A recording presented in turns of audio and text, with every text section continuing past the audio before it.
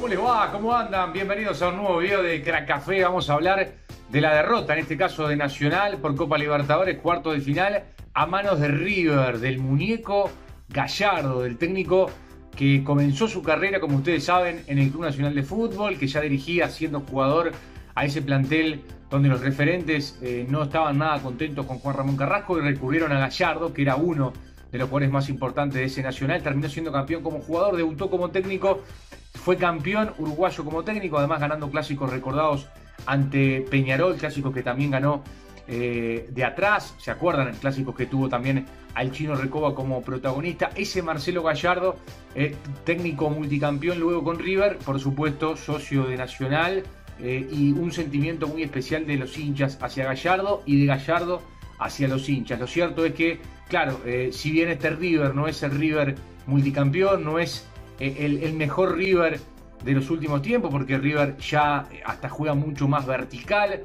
Recién en el segundo tiempo eh, realizó algunas triangulaciones y algunas jugadas, este, transiciones eh, ofensivas, pero es un equipo mucho más vertical sin dudas. Y Nacional inteligentemente trató de limitar en el primer tiempo a ese River, de jugarle con un 4-1-4-1. Eh, por momentos se transformaba en una línea de 5 con Cougo que, que bajaba, que se juntaba con Oliveros, no tanto Treza por el otro sector, después también por supuesto Rafa García colaborando a la marca, también la presencia de Martínez y Nacional terminaba defendiendo con siete jugadores.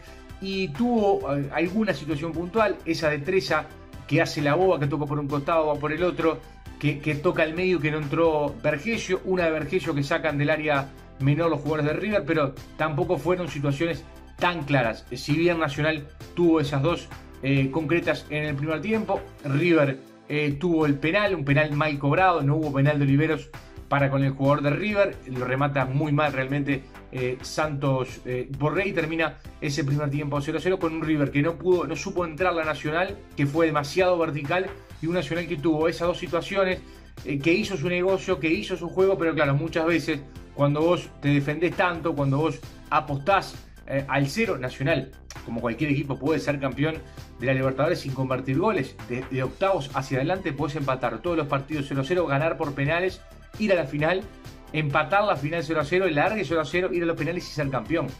Eh, se puede apostar a eso, pero muchas veces eh, termina siendo campeón el equipo que tiene más posesión, que tiene más triangulaciones, que tiene un juego mucho más por las bandas y de hecho en el segundo tiempo se vio un River diferente, se vio eh, el River más parecido a lo que veíamos eh, en otros momentos de este equipo millonario.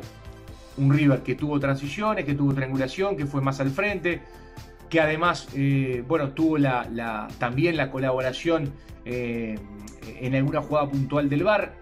Dicho esto, el VAR bien utilizado, estamos de acuerdo. El VAR utilizado de mala manera, es decir, concretamente el penal que le cobran a Nacional en el primer tiempo, que no es, por más que haya VAR, si termina siendo la decisión de alguien que está viendo eh, la cámara y del árbitro en, última instancia, en este caso de alguien que estaba viendo la cámara y que le dijo está bien, eh, fue penal y no fue penal, bueno, el, el VAR mal utilizado eh, es nocivo, es nocivo para el espectáculo, es nocivo y perjudica, en este caso Nacional, hablamos de ese penal.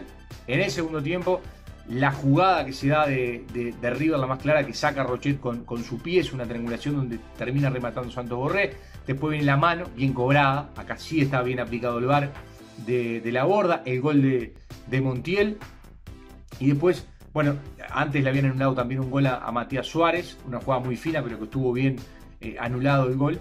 Y lo, lo, que reclama Nacional es el segundo gol. Es muy fina también la jugada. Eh, deja muchísimas dudas. Eh, pero da la sensación, da la sensación, insisto, viendo la, la retiración una, dos, tres, diez veces que está en la misma línea. De todas formas, es una jugada que llama eh, a, la polémica. En síntesis, eh, en síntesis, yo creo que en el segundo tiempo River fue más que Nacional y termina llevándose la, victoria en forma justa. Claro, quizás el 2 a 0 es un resultado muy abultado. Se le complica el panorama nacional porque River es un equipo que es difícil que le vayan a convertir tres goles. Además tiene la, la particularidad de que si hace un gol prácticamente sella la clasificación. Ya antemano se sabía que Nacional partía, que River partía como favorito para jugar ante Nacional. No sería nada extraño que Nacional termine quedando afuera. De hecho, hoy está quedando afuera y es muy difícil que Nacional pueda revertir la situación, que le pueda hacer tres goles y que River no le haga ninguno. Más teniendo en cuenta los planteos que ha hecho en Libertadores Jordano, un planteo defensivo con Independiente, un planteo defensivo con Independiente en el Parque Central, un partido defensivo con River en, Avellaneda, lo que hace que eh, sea muy difícil, porque va a tener que salir a atacar, porque va a tener que hacer un planteo diferente. Yo me imagino un planteo como lo que utiliza en el medio local muchas veces, es decir, jugando con, dos volantes centrales, con, tres más eh, arriba y con, con Vergesio. Nacional tiene una este, que corregir algo que es que no convierte goles. Eh, Nacional no hace goles, en la Copa Libertadores hace tres partidos que Nacional no hace goles. Eso es un problema grave y es un problema grave porque Nacional debe convertir por lo menos dos que no le haga ninguno para ir a la definición del punto penal. Programa muy complicado, muy gris para Nacional de cara a la semana que viene y en el medio tiene nada más ni nada menos que el clásico si es que se termina jugando, si lo permite jugar toda esta situación anormal que se vive en el mundo y hoy particularmente en Uruguay. Yendo al 1-1, Rochet espectacular, figura, ataja el penal, le saca eh, ese remate con el pie a Santos Borré que pudo haber sido el segundo, tuvo alguna este, atajada más, descolgó todos los centros, correcto partido. De los cuatro en el fondo, el más flojo fue Armando Méndez, que además se fue sentido, queda descartado para el fin de semana. Flojo partido de lateral derecho de Nacional, demasiada musculatura, en un momento parece un luchador de la, de la UFC, un rugby, eh, y, a veces pasaba, ¿se acuerdan? El Cebolla Rodríguez también, es más grande incluso que el Cebolla Rodríguez Armando Méndez, por lo tanto se, ha roto varias veces, se lesionó, queda descartado, no tuvo un buen partido. Después los, los zagueros la tienen un, problema con los brazos, eso está clarísimo. Eh, se le complica mucho con el tema del VAR. En Ecuador, eh, bueno, ahora con, con, River.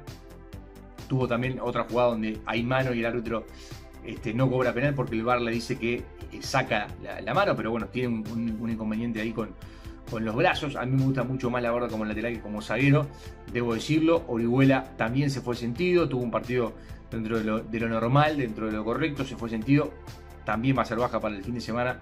Y después Oliveros, que, bueno, que hizo un, partido correcto por el, por el, lateral izquierdo. Insisto, eh, de esa línea de cuatro, de, lo mejorcito fue el, lateral Oliveros. Después en la zona media, Rafa García no tuvo un buen desempeño. Yo creo que había hecho mejores partidos con Independiente. Él está ahí para sumar, para marcar, pero tuvo este, bastante entreverado y, River le manejó la pelota en, la zona media de los volantes que fueron más adelante.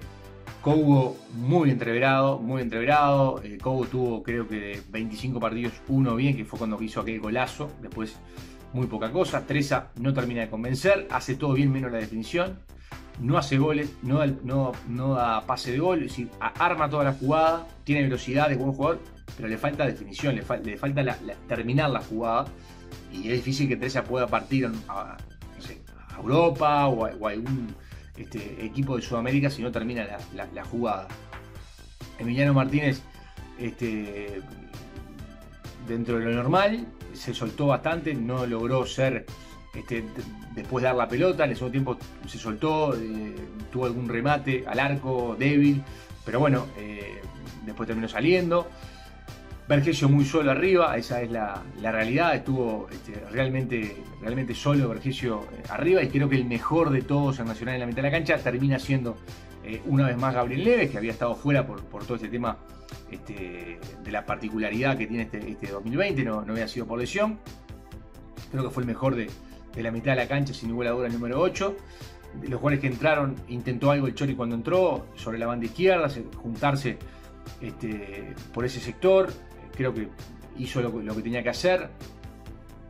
Y después, Ocampo, eh, lejísimo, ya le, han dado la chance a todos los técnicos y no, no responde con ninguno, no se justifica que siga jugando en Nacional. Y poco más para hablar de un equipo que prácticamente no tuvo situaciones. Esas dos que conté en el primer tiempo, el centro de Treza que no llegó a Vergesio, la de Vergesio que sacan del área chica, pero que tampoco sacaron de la línea. Y después en ese tiempo Nacional no tuvo situaciones de Nacional no le llegó a River termina perdiendo, termina perdiendo bien, se le complica la clasificación a las semifinales, que hubiera sido, obviamente, o, que es, ojalá que sea, que, se, logre, este, que le logre hacer tres goles arriba, que sería, eh, no digo una hazaña, pero sí algo fuera de lo común, de lo normal y, que sería extraordinario y además ahí sí ya se, pondría el traje de candidato.